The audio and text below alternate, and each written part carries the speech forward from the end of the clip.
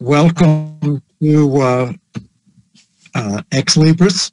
We're very pleased this evening to have with us uh, Kevin Prufer. Uh, Kevin is uh, the author of five books of poetry. Uh, the latest is Churches. Um, he is on the on the the faculty of the University of Houston uh, creative writing program, and we're here to talk about Stevie Smith.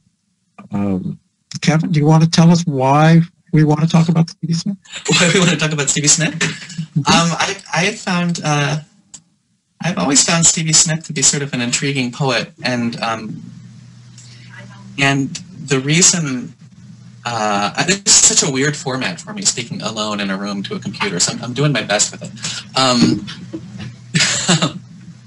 I've, I've always uh, I've, I've found her interesting, maybe for two reasons. And, um, light. Huh?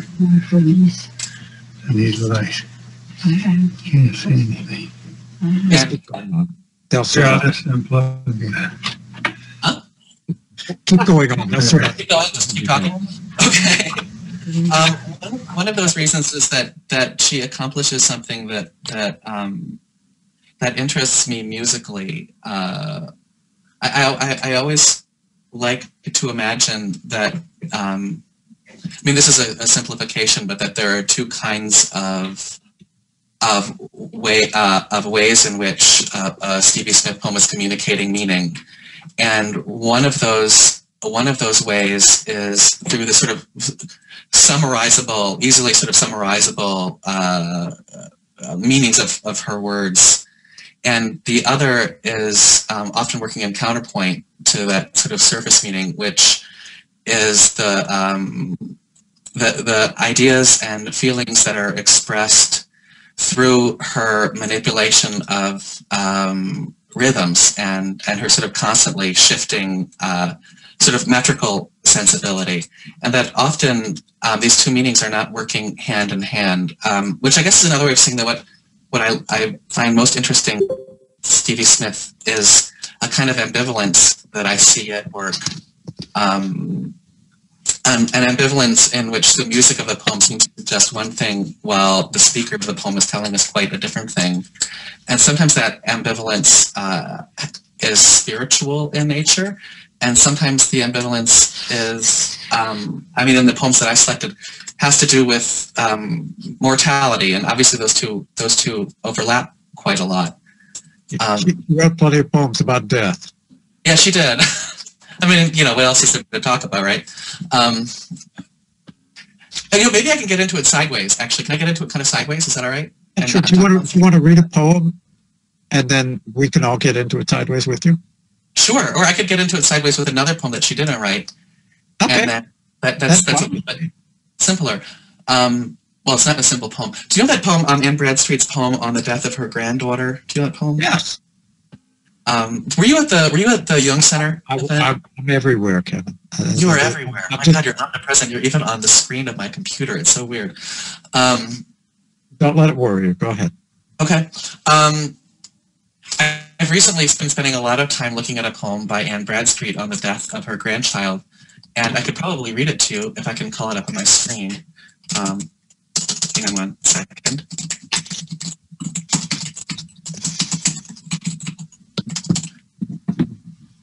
It's just slowly coming up. Um,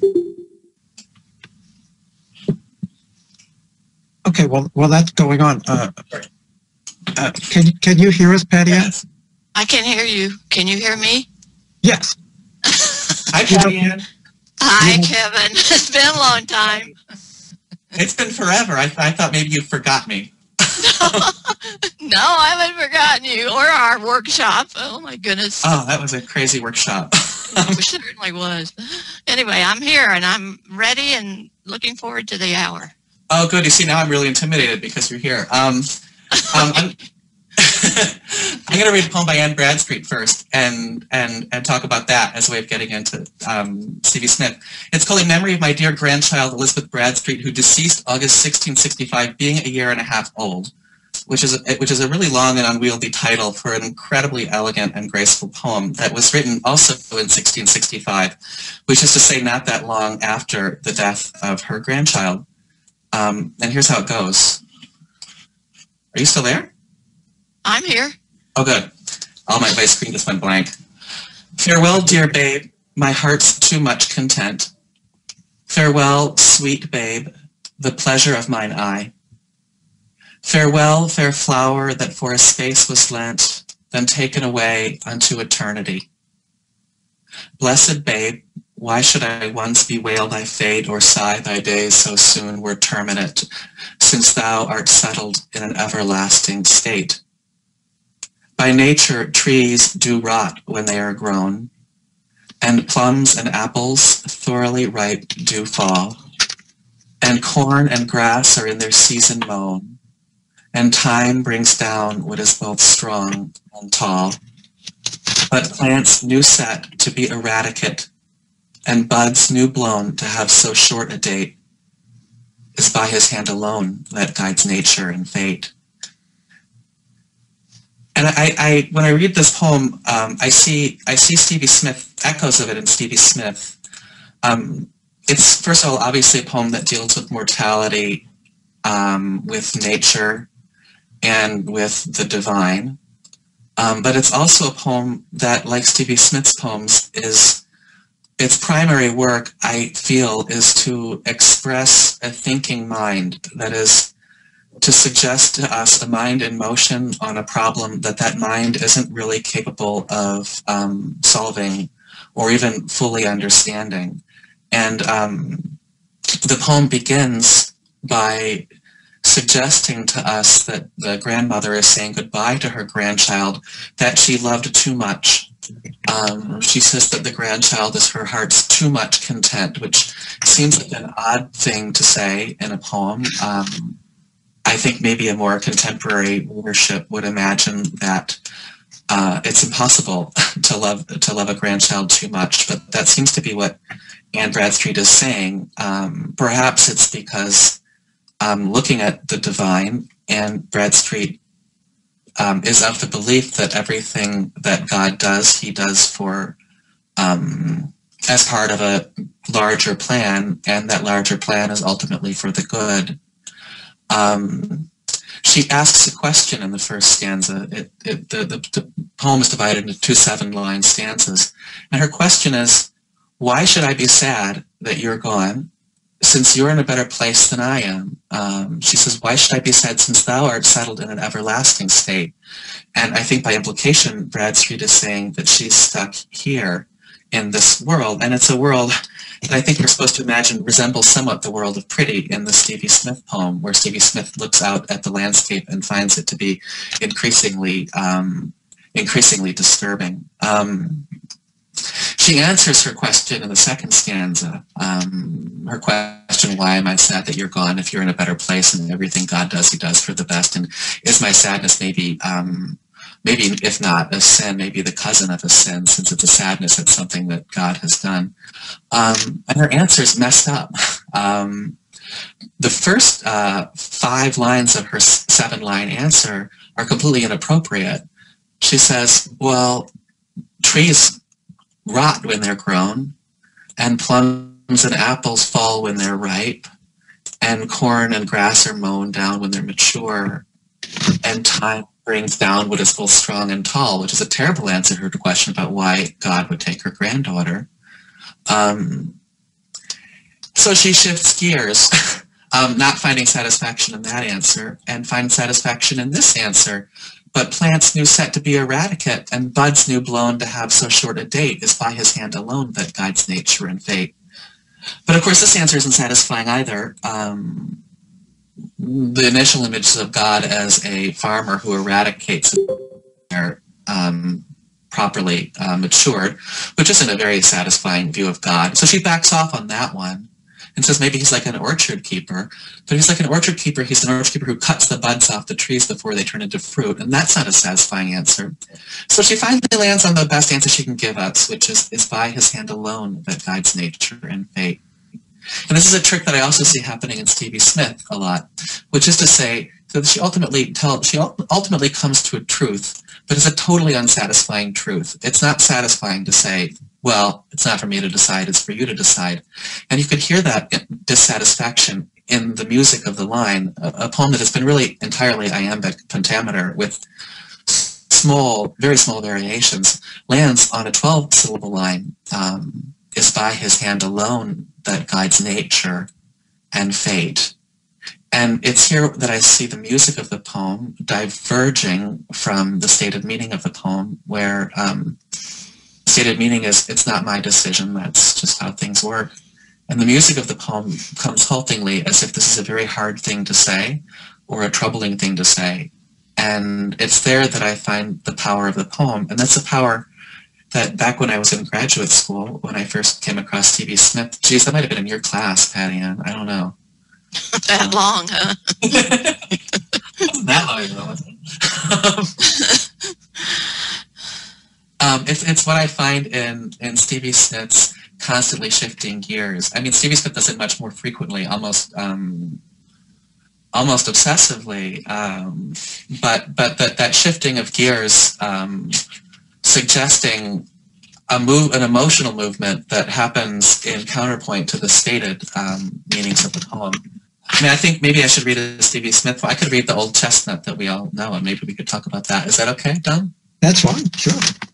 Okay. Um, the Old Chestnut, Waving but Drowning, which is sadly the only poem she's known for, um, I think. Um, not waving but drowning.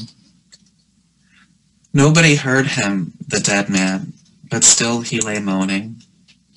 I was much farther out than you thought, and not waving but drowning. Poor chap, he always loved larking, and now he's dead. It must have been too cold for him, his heart gave way. They said, Oh, no, no, no, it was too cold always. Still the dead one lay moaning. I was much too far out all my life, and not waving, but drowning. I, I've thought a lot about this poem, and I don't really know what it's about. um, it, it begins, I, I've got ideas. It begins in that sort of Dickinsonian universe in which we're not even really sure um, whether what we mean by dead man. It's like that poem that begins, I heard a fly buzz when I died, already from the beginning, sort of destabilizing uh, this this idea of the speaker who who may be literally dead, speaking from beyond, or who may be talking about a spiritual sort of deadness or an emotional deadness.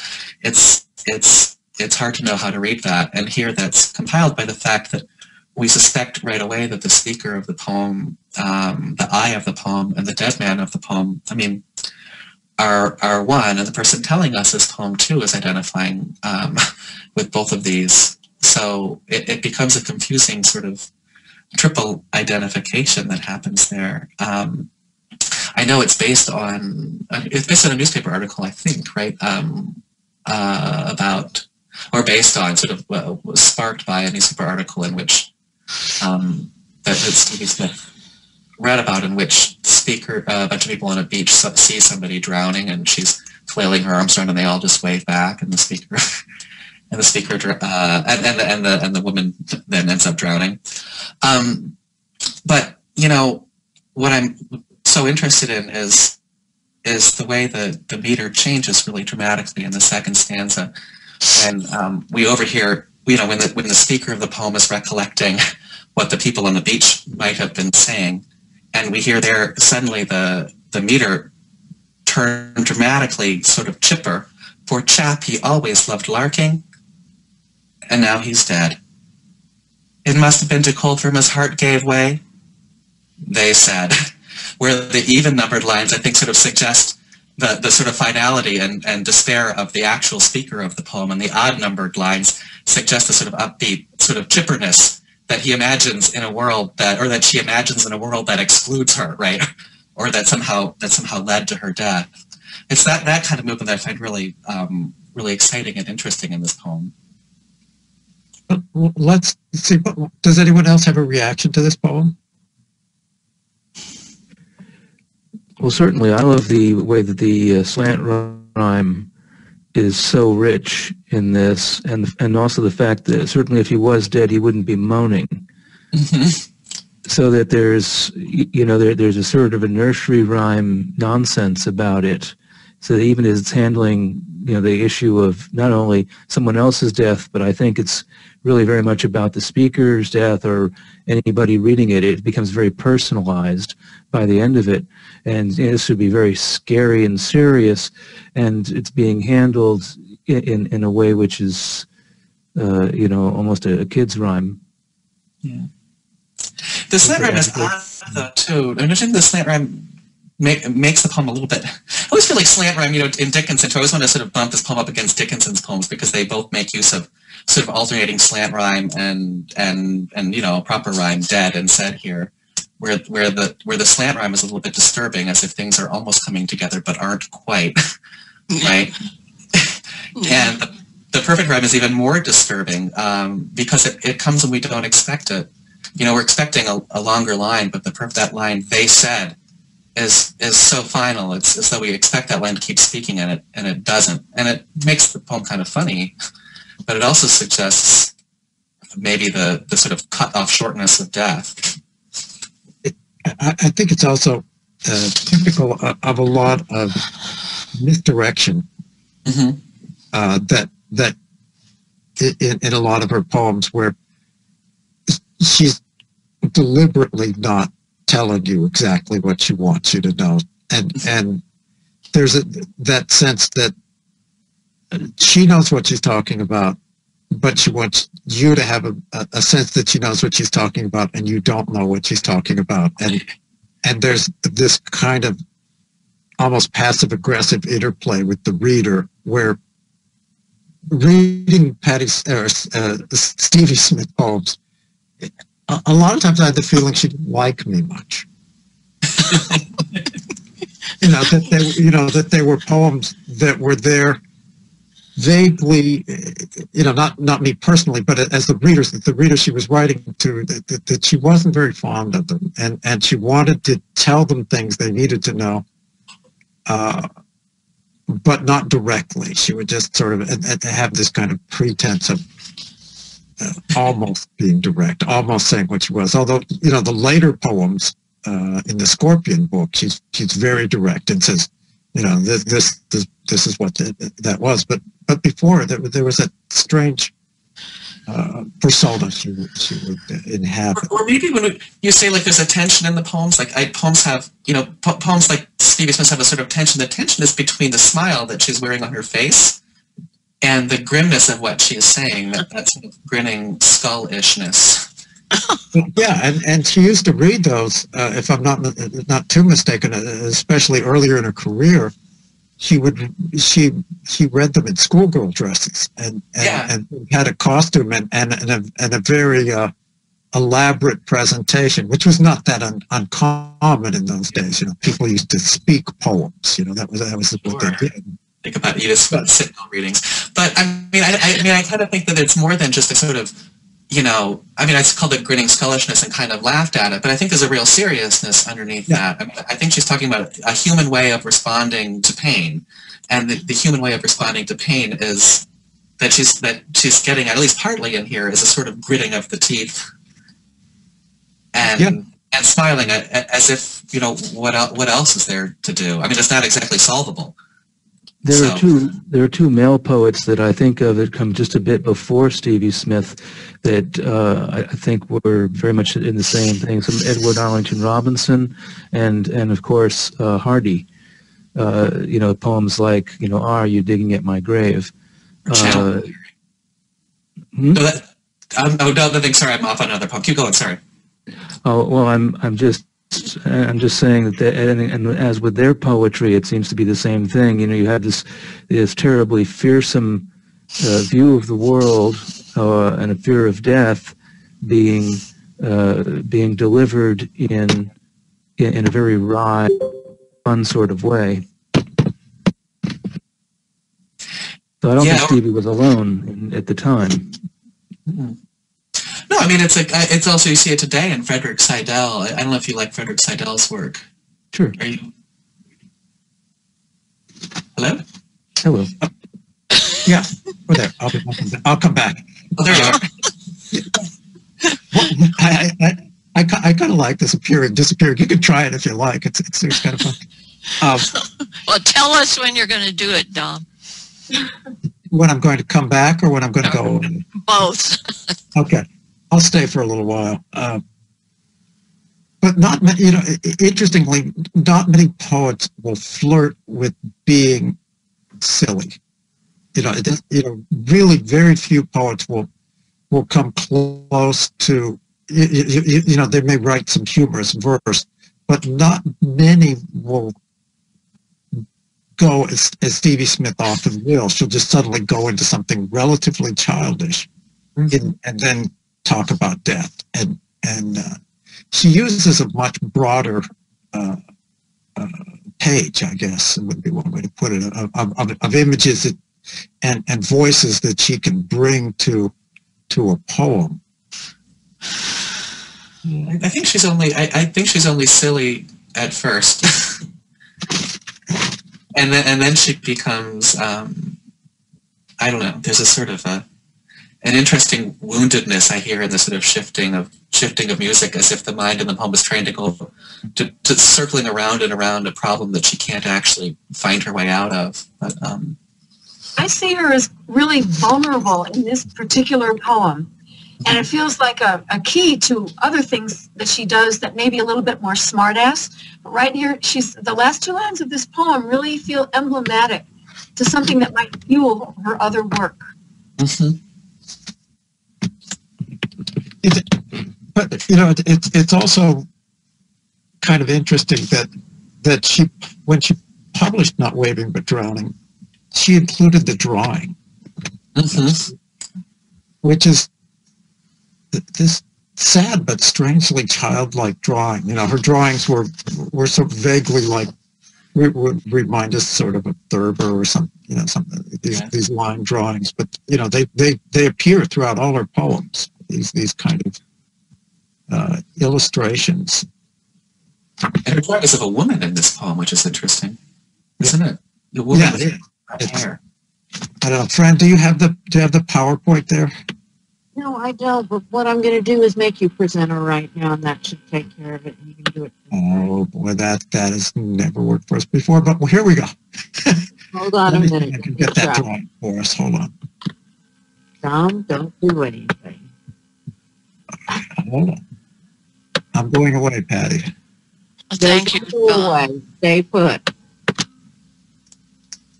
Wow, it's weird control you have over my screen. It's disturbing. All right, Tom, you should be set. All right, let's see. Where am I? Oh, here's all my stuff. Oh, oh, I can't go back. Hold on. Talk amongst yourself while I get to that place again. Are So what about the parenthetical line? Sorry? The parenthetical line, still the dead ones stay, lay moaning. Yeah. You know, why, why, why not put that in a, how much would it have changed the poem if that wasn't in parentheses? I don't know. It comes at you in parentheses as a kind of a whisper, as if to say, lest, lest you have lost track Yeah, of the I dead one. I Please stay remind you. off stage. I don't know. I, I'm just wondering why this is the poem that she's known for. Mo- as, mo- mo- you know, most known for, let's say, I guess. Most known poem. I mean, I there's don't know. someone responsible for that. I mean, some anthologist or more than one or, I have no idea. I have no idea. I've, I've always wondered that it's, it's one I like, but it's I, I like Pretty more. I think Pretty is a more interesting poem. I do too. Probably Oh, I think, calm I think I think all these poems, uncomfortable. No, I honestly, think her poems make people uncomfortable, and not waving but drowning is less uncomfortable. And maybe that's why they embraced it. you mean more understandable? Well, I, as I said before, I think she's more vulnerable in there. She's she's really out there in some of the Yeah. other poems. She's Yeah. not taking any crap from anybody, and and she's she's so sharp. People would respect it and kind of then turn away. Should we look at, at pretty? Yeah.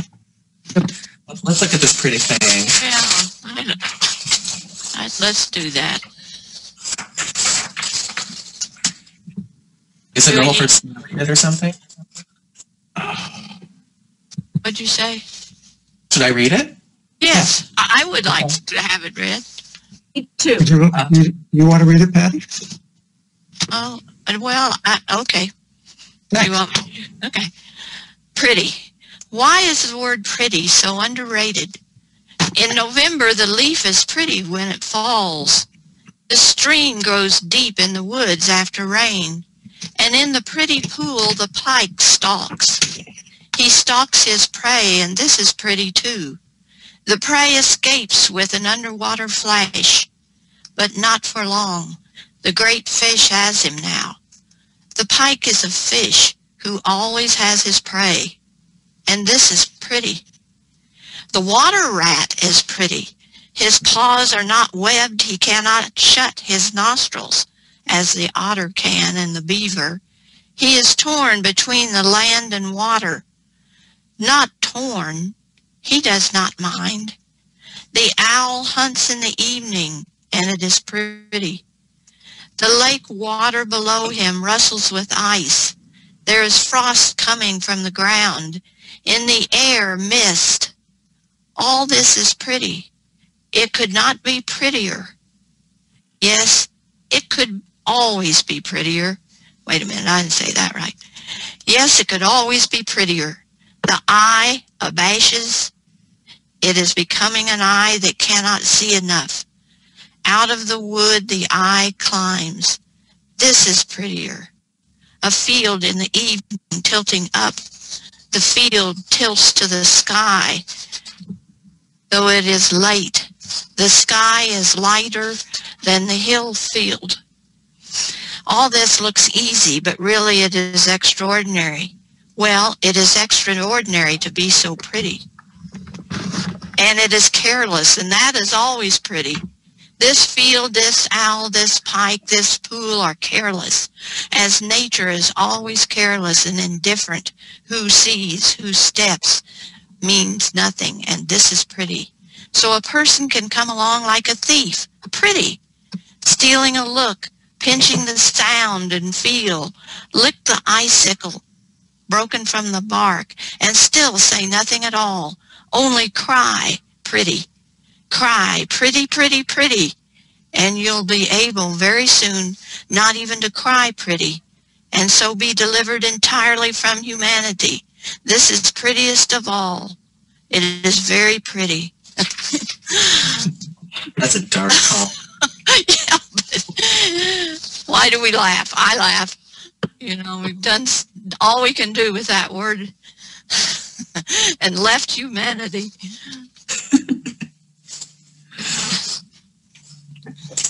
Yeah, So- I, I I used to think of this, but what if what you know? I mean, since it seems to be at least sort of jokingly participating. I mean, wryly participating in that sort of um, romantic nature poem Yeah. world.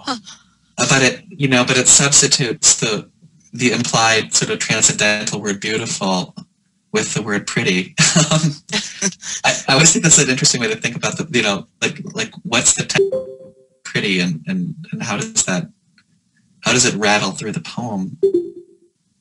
I, well, I don't know. I, you know, she's, I kind of see her thinking as she goes through here, you know, well, this is pretty and this is pretty and the death is pretty and the thief is pretty and, and, and pretty soon you're, the word me- has no meaning. Yeah, or maybe it has the meaning that um, because even from the beginning, not pretty. I mean, it's it, it begins with in death, right? I mean, in the pretty pool, the pike stalks Yeah, stalks his yeah. prey. It's that the quality of that death hasn't really sunk in for the speaker, and then she never really lets it sink in. I don't think because she keeps on calling it pretty, which is a way of never going beneath the surface of a thing. Like beautiful, that that's quite a different thing from saying you're pretty. I mean, you're pretty is about is about the surface of you. and and you know she's constantly confronted in this poem with pe- with death, um, death and winter, and and um, and it seems like part of the exercise of the poem is that is is at least of the first half of the poem is her trying to convince herself that that's that it's different from what it is. Well, you know, that's the same as that Bradstreet poem you read. You know, she finally comes to the conclusion, well, it has to be pretty because God's doing it. You know, she doesn't use the word pretty, but but it's the same thing, right? The only way she reconciles it, if that's what Stevie Smith is doing, uh, reconciles herself to it is by saying it's pretty. It's pretty. It has to be pretty. God's doing it.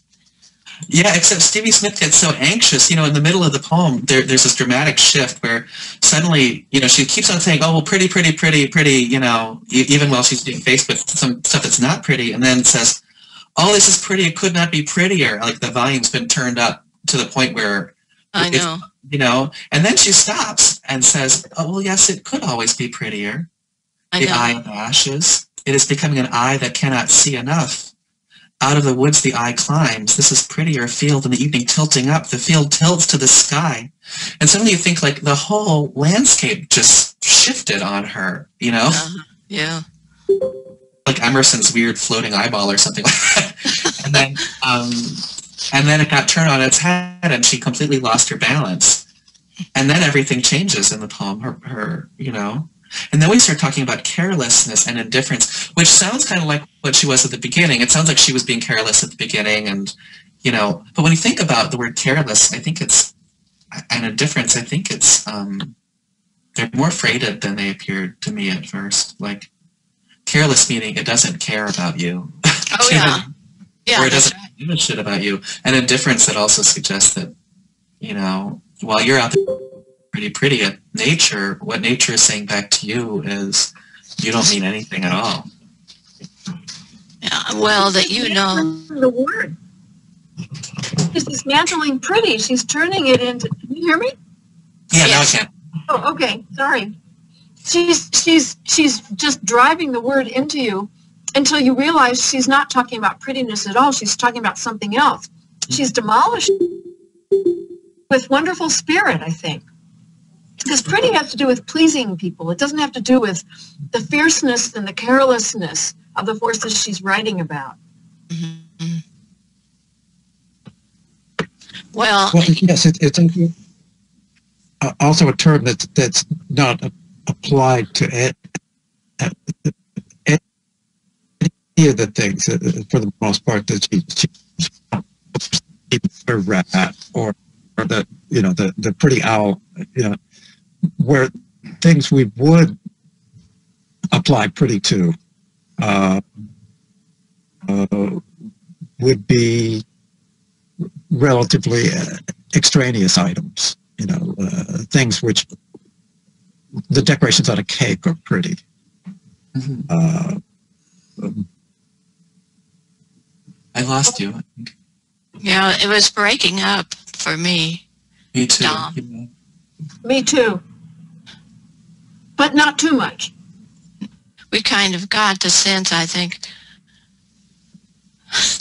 that's as much as I've got. Go ahead on. Well, y- y- you know how you say a word, uh, you've, as a child, or maybe if you've remained a child, you continue to do it. You say a word until suddenly it has no meaning. You know, you say it and you hear it and you hear it, but it doesn't bring any kind of cognizance with it. And uh, by the time, I think that's what happens to the word pretty as the time she, uh, by the time she gets to the end of this poem, it has no meaning anymore. And, and it's the same conflict that's in the Anne Bradstreet poem, and it's still with us. Uh-huh. You know, how, how can you say, I love the life force, when the life force is killing everybody, eh, you know, everything is killing it, each other. We're all, you know, everything, you know, Darwin has that statement. It's in the, it's an, an epigraph in the beginning of um, Cold Mountain. You know, how beautiful, uh, something about how beautiful the, the calm field is when all the war is going on there. There's pure war going on. you know, between all the life forces in that field. So that's the same, and the, you know, I think it's the same conflict that she's kind of mm-hmm. playing with here. And I, you know, I, I, I don't think that playfulness, which may be called silliness, is it's the essence of poetry. You're playing around with these words and the, with these conflicts that are so crucial to us. And we have this kind of clumsy language to try to deal with it.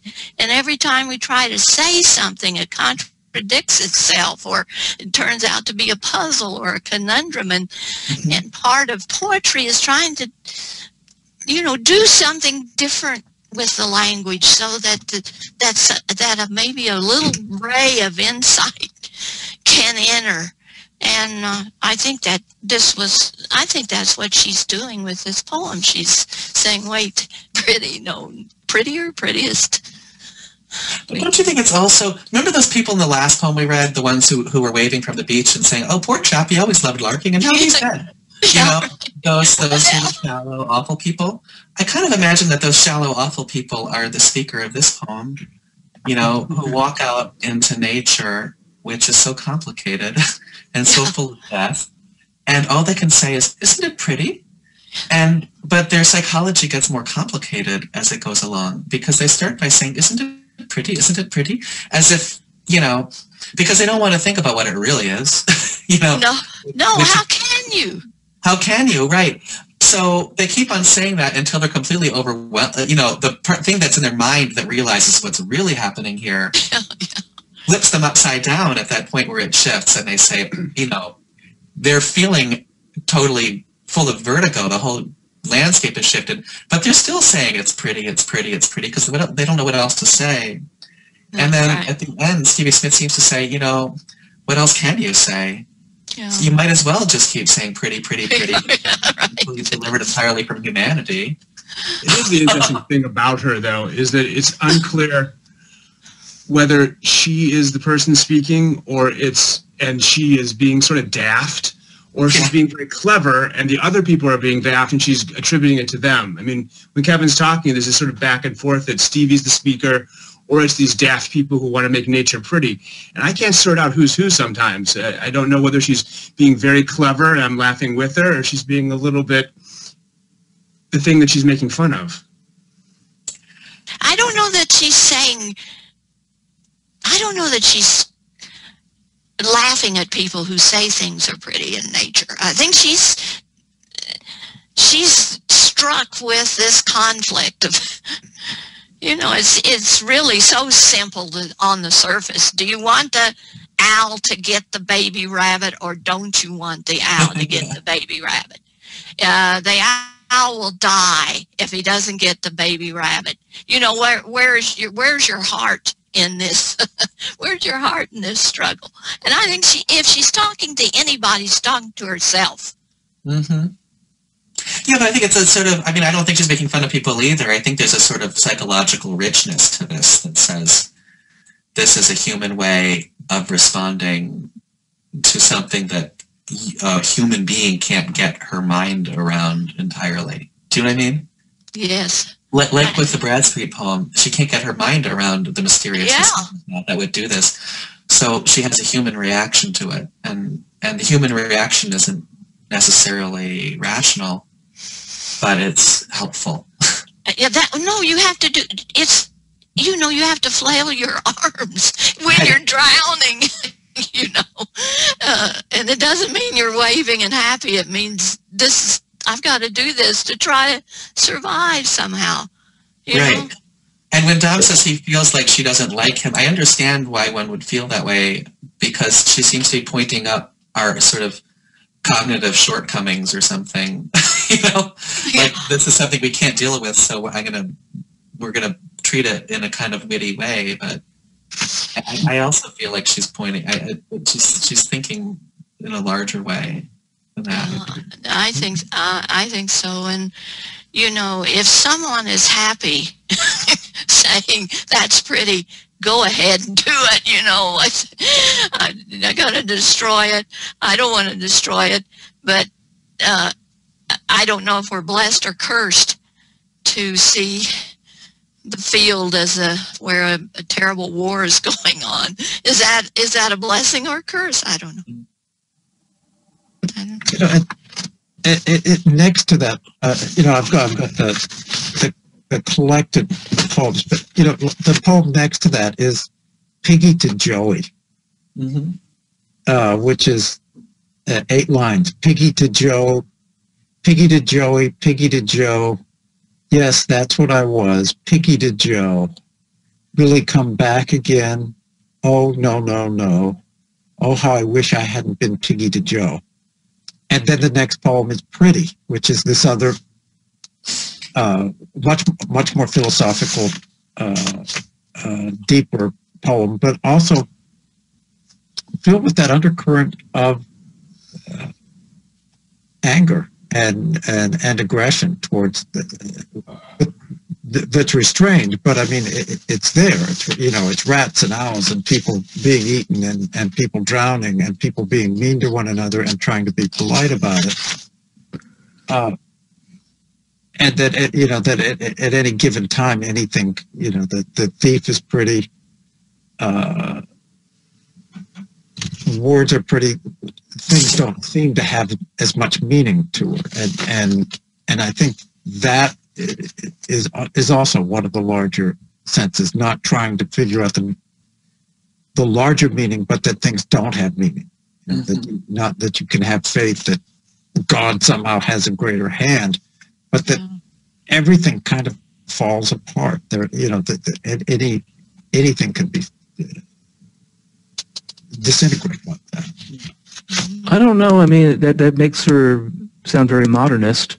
Uh, but I, I, think you know we're all dealing. Every poet is dealing with you know the awful world and loss and death and and aggression and and, and all of this. And I, I, I think her her balance is is very attractive because she's she's not rejecting it, and she's not afraid of it or making it more than it is. Uh, she's kind of treating it like an alien would treat it and say, you know, well, there it is. That's very interesting, isn't it?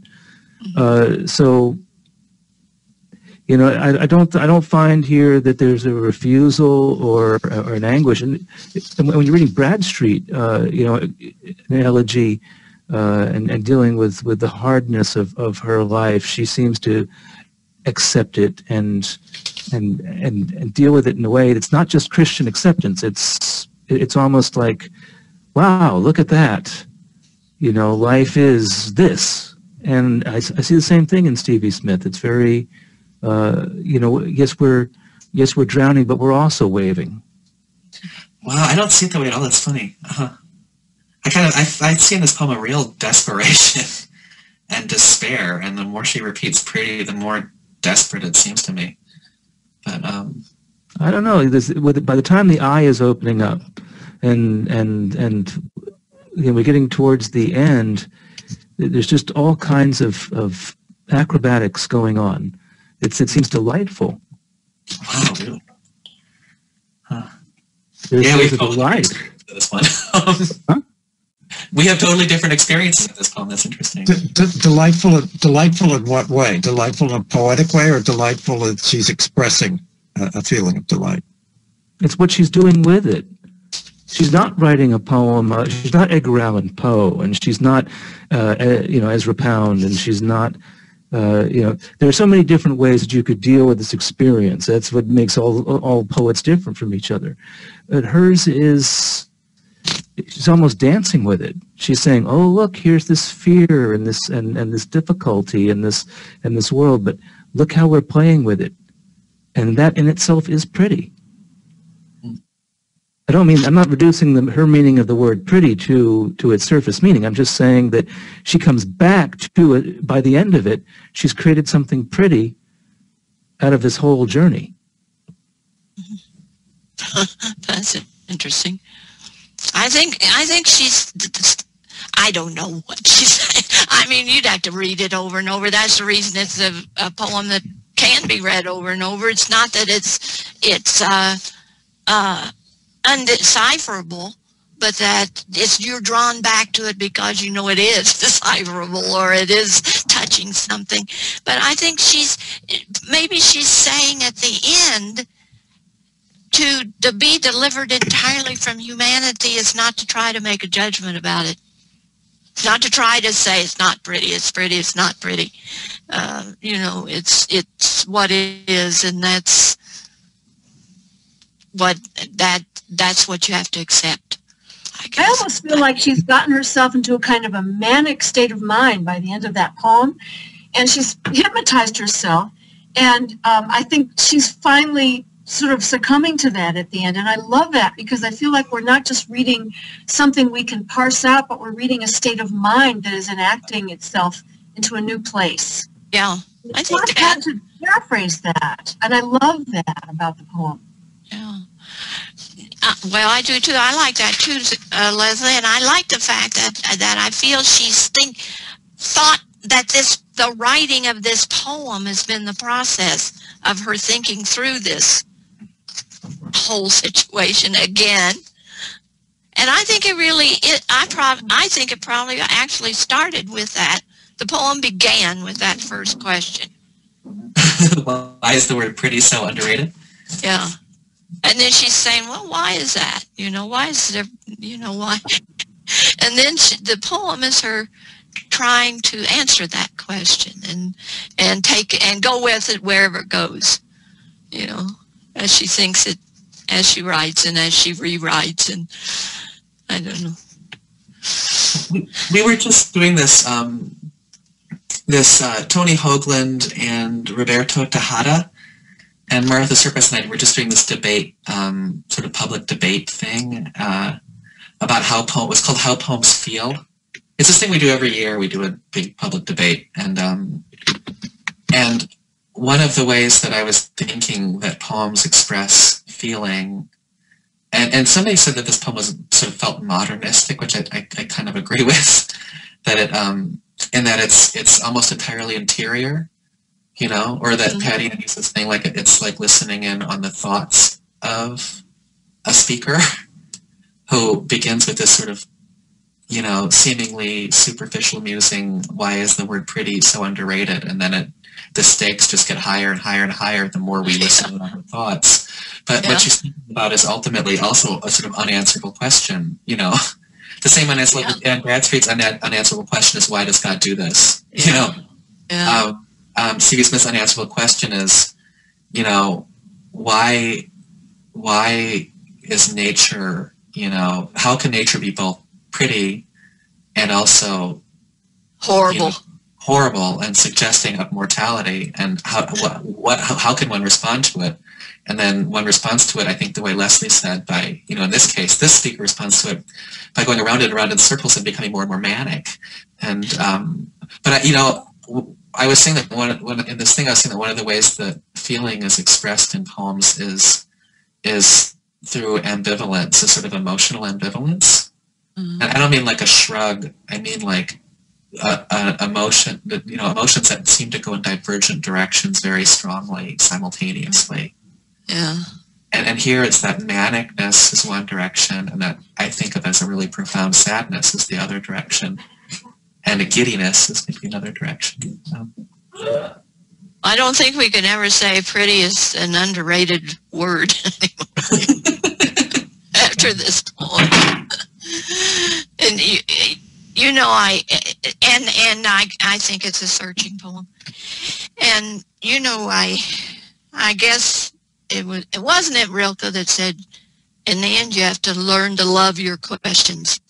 yeah, Still, you know, we still want answers, but we have the internal, eternal questions. it reminds me of your poem, That's- Patty Ann, called "The Dead Don't Complain About Anything" or something like that. Did you- Yeah. Yes. Oh, how nice, Kevin. that you remembered that. Oh, I love that poem. Oh. It's right on my shelf. It's right there. Funny. Um, well, anyway, that's right. But then they- Oh, sorry. No, No, go go ahead. No, you go ahead. Well, now, I, you know, Kevin, I'm getting old and now I forgot what I was going to say. So no one second, forgotten the next. Okay. Whatever it was, I'm sure it was very pretty. Thank you. After the use of this word in this poem. Okay. Do, do you want to try one more poem before we go? You can look at Our Bog is Dood. That's a great poem.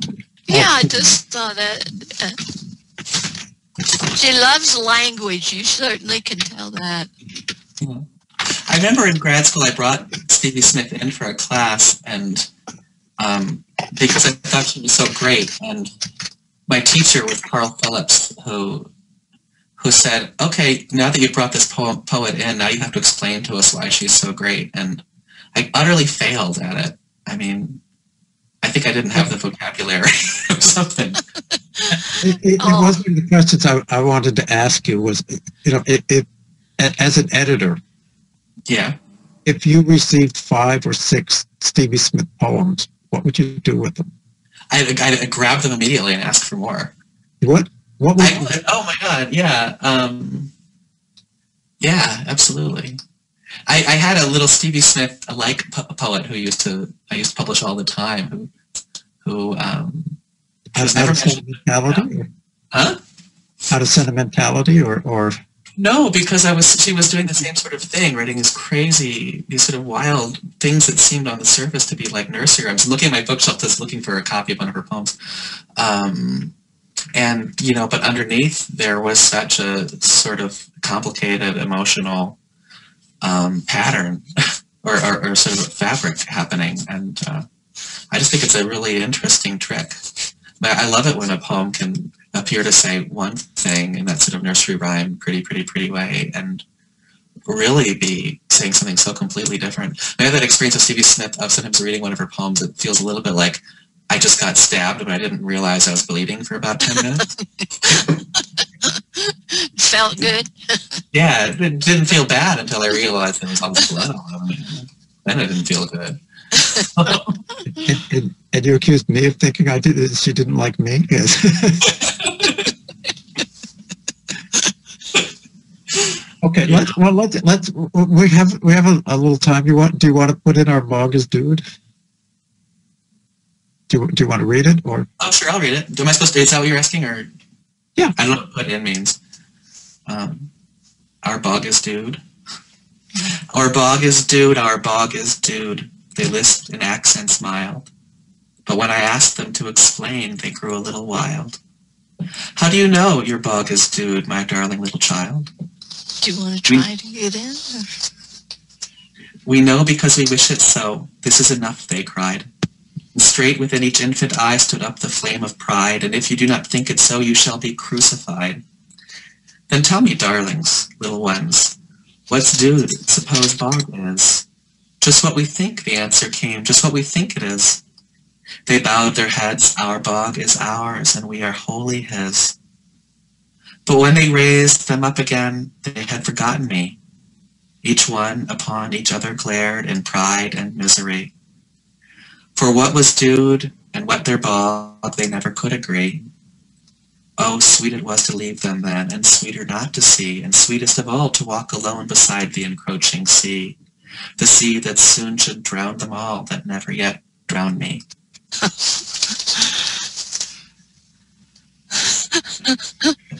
Uh, so good. Nasty little poem. the I know, yeah, I know. I know. I, can I uh, uh, interrupt here just a minute?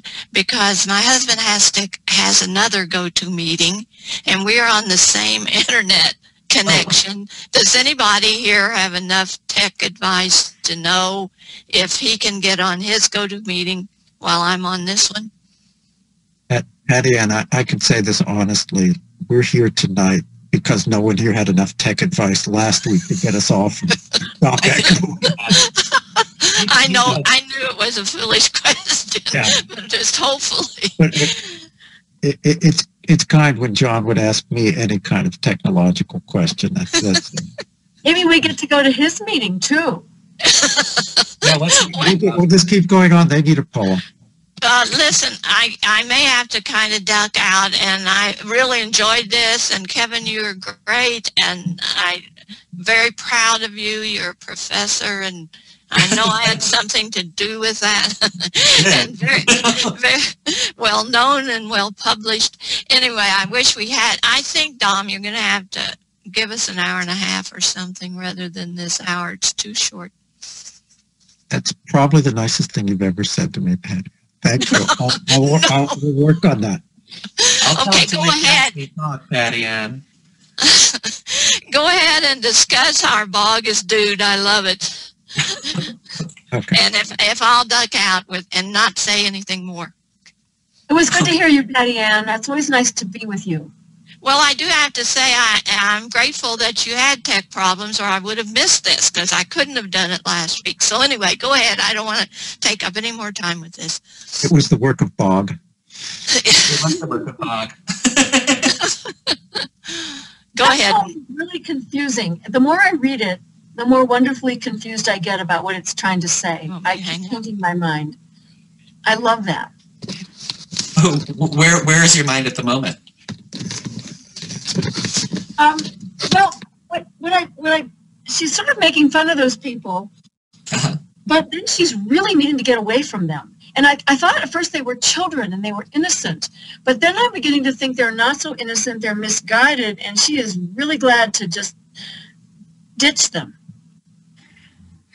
Yeah, when I well, the first time I read it, that's where I was too. And then you know, and it seems I think on the surface, I think this is another one of these ones with that sort of is polyvalent. Like it seems on the surface as though she's making some statement about a kind of um, simple-headed um, orthodoxy, religious orthodoxy, right? Where we say, well, well, our bog is dood, and if you don't believe in our bog being dood, we're going to crucify you. So there. But but what I found makes it more interesting than that, since you know that's something I I could do in a quick paragraph, is that the speaker herself begins being in a kind of troubling way. I mean, from the beginning, she's already really condescending. You know, before they've even said anything to her, she calls them my darling little child, when, as you say, they're clearly not little children. So it seems like a, a, a sort of mighty condescension. And at the end, she seems to me to be almost murderous. I mean, the, the, the rhythm of the final stanzas are is so sort of cheerful and upbeat and um, and nursery rhymey as what she's describing is, you know, something like the biblical flood, drowning everybody, but it never yet drowned me, you know. And I don't know. I find her to be in the end the almost the more troubling character. Um, And she calls it sweet, which is another interesting thing because that's one of those other little words that's so diminutive in a way, and she's turning it into something else. yeah.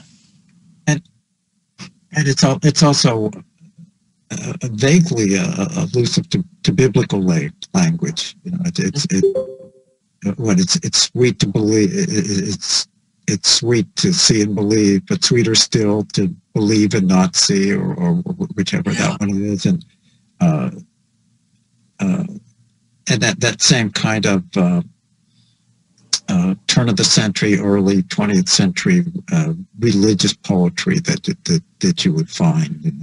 Little child, come with me, and uh, uh, uh, was it the Thompson poet uh, poem, uh, "The Hound of Heaven"? You know that that kind of uh, that kind that kind of vision of of, of God, ta- Jesus taking you by the hand and and and doing all these these peculiar things, uh,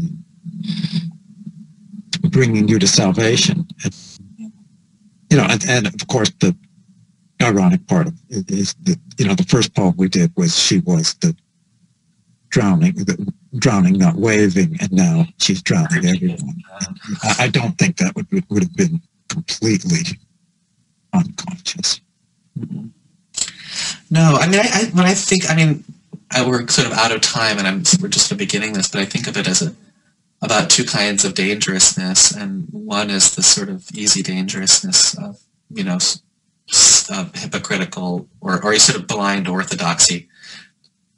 You know, Yeah. uh, us crucifying each other, but the other one is about a sort of middle class smugness, um, and a little a middle class smugness. I don't know if I'm calling it well because she's always you know, a kind of a smugness that allows you to condescend to people and ultimately, you know, to, to appear to be both sort of gleeful and murderous. Like, we could just wipe all these people off the planet and we'd be better off. It's not going to get me. Um, but the irony at the end is that it has already sort of gotten her because she's already as cruel as they are. Mean, that, that, that's how I kind of read that final line. But she also, but she put it there. Yeah, she You know, did. Yeah, but not. I mean, it wasn't like it slipped out of her. She, you know, it's it's one of those things. That say, if, if if you were writing a poem and you and you were your last two lines were, uh, "I'm going to drown everyone in the world," you would be very, very Yeah. aware of, of that. Sometimes- Sometimes a speaker in a poem reveals more about herself than she, she meant to. I don't mean Stevie Smith. I mean the speaker of the poem. Sure. I, I think the vulnerability that, that I felt so much in the first poem sort of informs the way I read everything else. That all hmm. the bite and fire behind what she's saying is coming from a kind of pain and vulnerability. She's she's trying to make her way as well. And even though she's smarter than almost everybody else, she's not she's not superior to them in her own mind. She's she's flailing. Yeah. I don't know about whether she's smarter or not. Even she- that's the issue. I guess I'm a little confused about how we're talking about it because there's not an orthodoxy because the two characters, the children, can't agree with one another, which is what starts the fight to begin with. All they know is that they're in charge and they have power, and they're going to use their power over her and perhaps crucify her, which I think throws us into the religious conversation that is available but not necessarily necessary. Where at the end, how many different scenarios can we imagine where there's these children or people of any sort who have power want to exhibit over you and if you don't go along with the power that they want to perpetrate then they're going to threaten you. And at the end i'm pretty happy that they might drown and that she's not going to drown and she's going to be free. I mean if it's the 70s or the 80s and we're not as quite as uh, social media oriented or quite sort of institutionalized and maybe we see the speaker as a hero who's uh, staying away from the institutional horror that uh, the, these children are affording.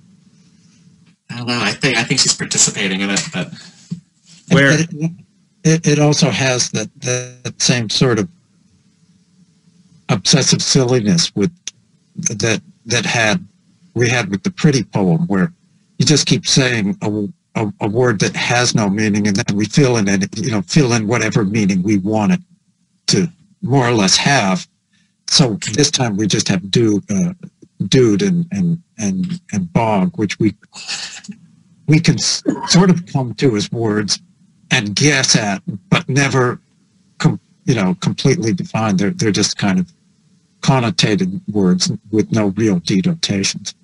well, they nudge up against our God is dead a little bit, don't they? Yeah. What with the Or our crucified, God is or our God is good. or our God is good. Yeah, yeah, it's hard to say. I think her smartness may be just that of really clear observation. And that line, um, I was too far out, I was much too far out all my life. It's almost like she, I, I guess I'm really maybe running too uh, very far with that line. Um, because I like the idea that maybe she felt herself to be an outsider and that gave her this incredible observational sharpness. And that's what I meant by being smart when I made that remark earlier. Yeah, that's a great thing to observe. Um, Well- it's it's getting to be. It's time. Uh, yeah, that's a nice way to close it. Yeah, it, it is. We, Kevin, we, we, we thank you. We, we encourage everyone to uh, to purchase your book, Churches. Uh, Everything's available on, on Amazon now. It's uh, our own blog. Uh, and uh, thank you again. Thank uh, thank all our participants this evening. Uh, next month, it's uh, we're doing the first uh, chapter of Robert Duncan. oh, cool. So we'll look forward to seeing all of you then. And then in a couple of of your bogs weeks, are dood. excuse me. I said I hope all of your bogs are dood. Okay. Thank you and good night on that. Good night. Okay. Good night.